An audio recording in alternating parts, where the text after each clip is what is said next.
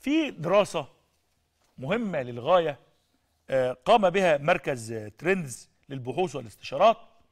هذا المركز آه، سلط الضوء على تحرك تنظيم الإخوان الإرهابي داخل القارة الأوروبية.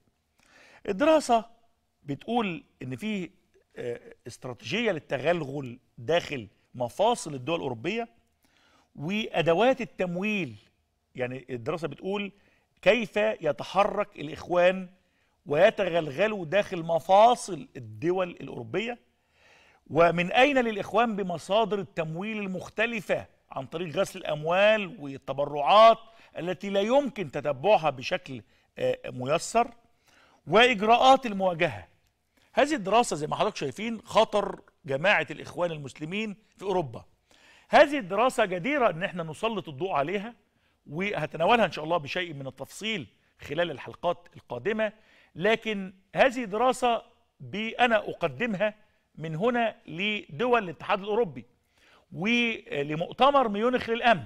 مؤتمر ميونخ للأمن المعني بتغلغل الإرهاب داخل الدول الأوروبية وتداعياته واستشراف مستقبل أوروبا مع وجود الجيل الثالث والرابع من العناصر الإخوانية التي وصلت إلى مرحلة تكويد لتواجدها كونت تواجدها داخل أوروبا من خلال الدخول والانغماس في منظمات حقوقية حقوق إنسان منظمات إنسانية جمعيات مجتمع مدني ال- الانغماس وتغيير الشكل والجلد الخارجي والانغماس والذوبان داخل القارة الأوروبية والحديث باللغة الأوروبية الجيل الثالث والرابع الاخوان بيعتمدوا عليهم بشكل آه، آه، ربما مفهوم وواضح لنا كباحثين ومراقبين لكن ربما هذا بيدخل آه، إلى الاجهزه الأمنية الأوروبية بشكل مغاير لما يدخل علينا. يعني إحنا بنفهمه بشكل هم بيفهموه بشكل تاني.